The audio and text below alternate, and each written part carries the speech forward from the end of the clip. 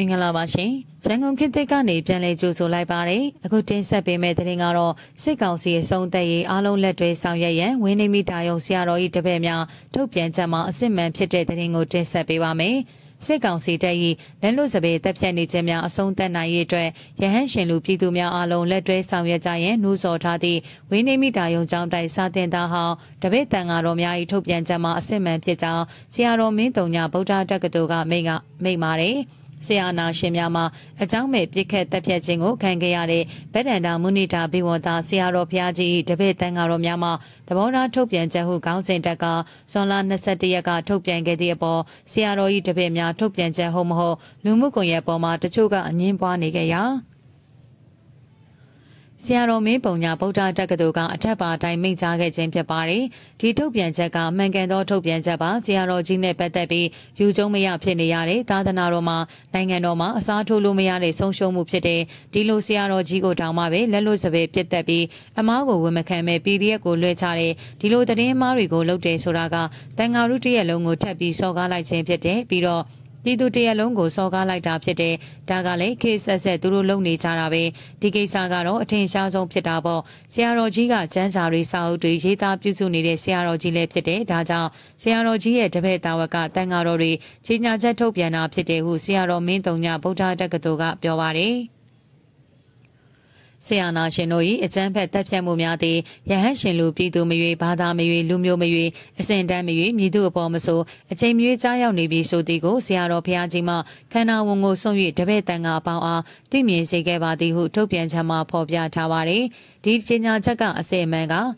ဒီကြေညာချက်ကအစေအမှန်ပါဆရာတော်ကြီးရဲ့တပည့်တန်ဃာတော်တွေစီကစာမှုချမ်းကိုရလို့ဦးစိန်ကိုယ်တိုင်တစိမ့်တုံးတွေလုပ်ပြီးတော့မှဓမ္မနေငြိမ်းချမ်းရေးလူမှုကွန်ရက်စာမျက်နှာမှာတင်ခဲ့တာပါဒါကြောင့်မို့ဒီကြေညာချက်ဒီအစေအမှန်လားဆိုရင်ဦးစိန်ကိုယ်တိုင်တတ်သေးပါဟုအရှင်ဒေဇာနန္ဒတစေကလည်းမိန့်ကြားပါတယ်။ ဗုဒ္ဓဘာသာယဟန်တော်များအနေနဲ့ဆေယနာရှင်တို့ကြောင့်တနေ့တခြားရုပ်ရော့ကြဆင်းလာနေတဲ့သာသနာတော်ကိုပြန်လည်တက်မှတ်စေရတဲ့ဆေယနာရှင်တို့ကြောင့်ဒုက္ခမျိုးစုံကြုံတွေ့နေရသောပြည်သူများအပေါ်မေတ္တာရှိထားတော်မူပြီးဆောင်ရွက်ဖွယ်ရာပရိကံဆောင်ခြင်းအမျိုးမျိုးကိုဝိနည်းတော်နဲ့အညီဆောင်ရွက်တော်မူရဲ့အချိန်ကြာရောက်လာပြီဖြစ်ကြောင်းလည်းထုတ်ပြန်ထားပါတယ်။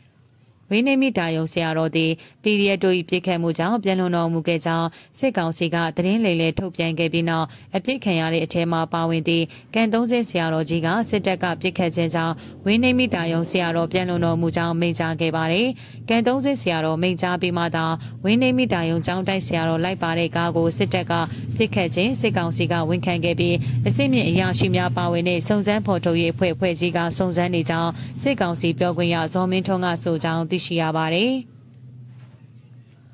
ဆက်လက်တင်ဆက်ပေးမယ့်သတင်းအကြောင်းကတော့မိုးကုံမြို့တွင် TNL နဲ့စစ်ကောင်စီတိုက်ပွဲဖြစ်တဲ့သတင်းကိုတင်ဆက်ပေးပါမယ်။မန္တလေးတိုင်းမိုးကုံမြို့နယ်အထက်ပိန်းပြရွာနဲ့အောက်ပိန်းပြရွာကြားမှာအထက် တောင်တမတော် TNL နဲ့စစ်ကောင်စီတပ်တို့ဇွန်လ22ရက်မှာတိုက်ပွဲဖြစ်ပွားခဲ့ကြောင်း TNL ကအသိပေးပါတယ်။ဇန်နဝါရီ22ရက်မနက်7:00နာရီခန့်မှာစစ်ကောင်စီက TNL တပ်ရှိရာသို့ထိုးစစ်ဆင်လာ၍အောက်ဘိန်းပြင်းနဲ့အထက်ဘိန်းပြကျေးရွာကြားမှာနှစ်ဖက်ထိတွေ့တိုက်ပွဲဖြစ်ပွားခဲ့တယ်လို့ထုတ်ပြန်ပါတယ်။ တိုက်ပွဲမှာနှစ်ဖက်ထိခိုက်ကြဆုံးမှုရှိမရှိဖော်ပြထားခြင်းမရှိပေ2024ဇန်နဝါရီ17ရက်မှာတရုတ်၏ဂျားဝင်မှုဖြင့်အပြည့်ရက်ဆဲထားတဲ့စစ်ကောင်စီနဲ့ TNL တို့ကြားမနေ့ကတိုက်ပွဲပြန်လည်ဖြစ်ပွားခြင်းဖြစ်ပါတယ်စစ်ကောင်စီတပ်ဟာအပြည့်ရက်ဆဲထားတော်လဲ TNL တက်စကန်ကိုလေကြောင်းပုံကျဲတိုက်ခိုက်ခြင်းဒရုန်းဖြင့်တိုက်ခိုက်ခြင်းများပြုလုပ်ခဲ့၍ TNL ရဲဘော်တချို့တေဆုံးထိခိုက်မှုရှိခဲ့ပါတယ်ယခုဇွန်လတွင်စစ်ကောင်စီတိုက်ခိုက်မှုကြောင့် TNL ရဲဘော်3ဦးသေဆုံးက9ဦးထပ်မံဒဏ်ရာရရှိထားပါတယ်ထို့အပြင်စစ်ကောင်စီတပ်ဖွဲ့များဟာမနေ့ကအထက်ပိန်းပြရွာကိုဒရုန်းဖြင့်တိုက်ခိုက်ရာရွာဖုံကြီးကျောင်းထိခိုက်ပျက်စီးခဲ့ကြောင်းတောင်တမတော် TNL ကထုတ်ပြန်ထားပါတယ်။ TNL တပ်မဟာနေစစ်ဒေသမိုးကုံမြို့နယ်အောက်ပိန်းပြရွာမှာတပ်ဆွဲထားတဲ့စစ်ကောင်စီစစ်ကြောင်းဟာဇွန်လ22ရက်မွန်းလွဲပိုင်းမှာအထက်ပိန်းပြကျေးရွာကိုဒရုန်းဖြင့်တိုက်ခိုက်ခဲ့ခြင်းဖြစ်သည်ဟုဆိုပါတယ်။စစ်ကောင်စီသည်အရက်သားပြည်သူများနဲ့ဂျဟန်တန်ဃာတော်များဘာသာရေးအဆောက်အဦများရည်ရွယ်ချက်ရှိရှိတိုက်ခိုက်ခြင်းဖြစ်ကြောင်းယခုတိုက်ခိုက်မှုတွင်လူသူထိခိုက်မှုမရှိတော့လဲကျေးရွာတဲ့သို့ဘုံဒီကြားရောက်ပောက်ကွဲမှုကြောင့်ပြည်သူများစိုးရိမ်ထိတ်လန့်နေကြရကြောင်း TNL ရဲ့ထုတ်ပြန်ချက်အရသိရှိရပါတယ်။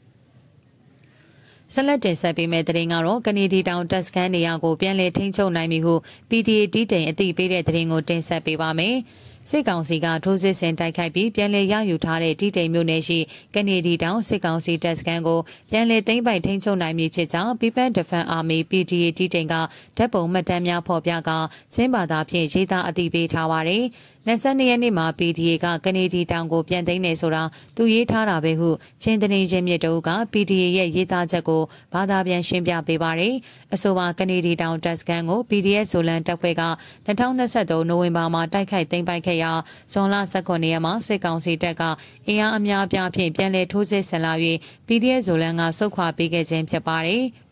ကနေဒီတောင်တက်စကန်ကိုစစ်ကောင်စီကဇွန်လ18ရက်မှာထိန်းချုပ်နိုင်ခဲ့ရာရပ်ပိုင်းအတွင်းမှာပင် PDAT တိမ်ပါဝင်တဲ့ချင်းပြည်ကောင်စီတပ်ပေါင်းစုကပြန်လည်ဝင်ရောက်နေရာယူထိန်းချုပ်ခဲ့ခြင်းဖြစ်ပါတယ်ထို့သောထိန်းချုပ်နိုင်ရင်တိုက်ပွဲဖြစ်ပွားမှုထိခိုက်ကြဆုံးမှုရှိမရှိအခြေအနေများကို PDAT တိမ်ကဖော်ပြထားခြင်းမရှိ၍ဆက်သွယ်နေဆဲဖြစ်ပါတယ်ထို့အပြင်တိတိမ်မျိုးနဲ့အတွင်းမှာပင်ရှိတဲ့တိုင်းငယ်စစ်ကောင်စီတပ်စကန်ကိုလည်းစစ်ကောင်စီကထိုးစစ်ဆင်လျက်ရှိရာချင်းပြည်ကောင်စီတပ်ပေါင်းစုကပြန်လည်ကုခံလျက်ရှိပါတယ်အဆိုပါတိုင်းငယ်စကန်ကိုချင်းပြည်ကောင်စီတပ်ပေါင်းစုကယခုနှစ်ဇန်နဝါရီမှာတင်ပိုက်ထားခြင်းဖြစ်ပါတယ်စစ်ကောင်စီယခုထိုးစစ်အတွင်းစစ်ကောင်စီဘက်ကထိခိုက်ကြဆုံးမှုရှိကြောင်းချင်းတရင်ရင်းမြစ်ကပြောဆိုကြောင်းသိရှိရပါတယ်